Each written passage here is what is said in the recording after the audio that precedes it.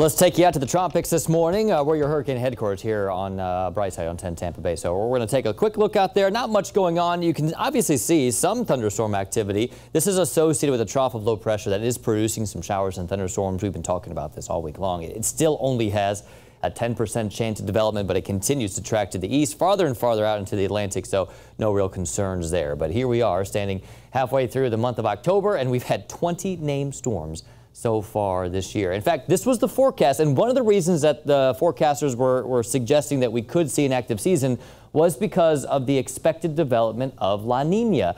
And up until yesterday, that was just the forecast. But officially yesterday, the National Oceanic and Atmospheric Administration came out and said, yeah, uh, La, Nina has, uh, La Nina has developed and it is here. And it all starts in the eastern equatorial Pacific. When the water there off the coast of South America and then out over the equatorial Pacific begin to become a little bit cooler than normal, we watch specifically this region called the Nino 3.4 region. And if the average temperature over a series of three months drops below about 0.5 degrees Celsius below normal, that's when officially a La Nina pattern will be declared. So we'll watch those waters, and that sets a domino effect in the atmosphere to produce actually global impacts. Now, La Nina is the opposite of El Nino. El Nino is the warm phase of this when those waters are warmer than normal. It's a natural occurrence where they sway back and forth every couple of years or so. Now, El, El Nino pattern would typically give us a cooler and wetter winter.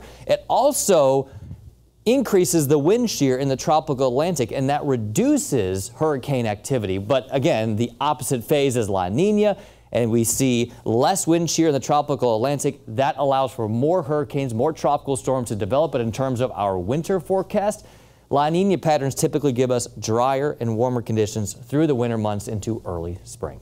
Guys?